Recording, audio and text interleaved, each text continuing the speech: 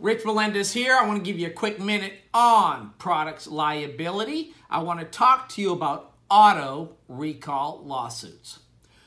Auto recall lawsuits are based on design defects or a defect in manufacturing of the automobile.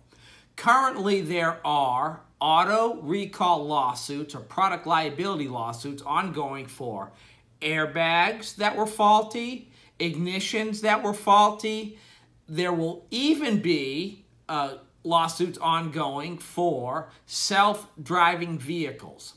If you've been injured as a result of a defect in the automobile or as a result of an accident with a self-driving vehicle, speak to an attorney. Thank you. Good luck with your case.